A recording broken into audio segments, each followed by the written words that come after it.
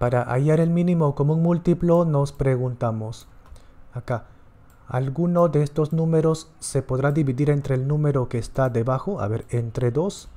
Sí, se puede entre 2 cuando un número termina en cifra par, o sea, si hay uno, basta que uno haya. 84 entre 2, 42.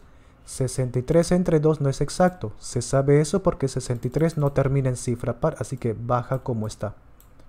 Todavía se puede entre 2 acá. Entre 2 es 21 y el que no se puede baja. Acá ya ninguno termina en cifra par, así que ya no entre 2.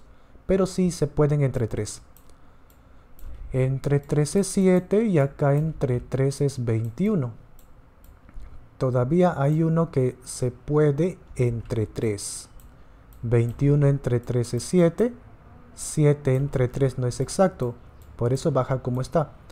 Ahora acá ya ninguno se puede ni entre 3 ni entre 5, pero sí entre el mismo 7. Entre 7 1 y acá también. Cuando al final así quedan puros unos, ahí termina.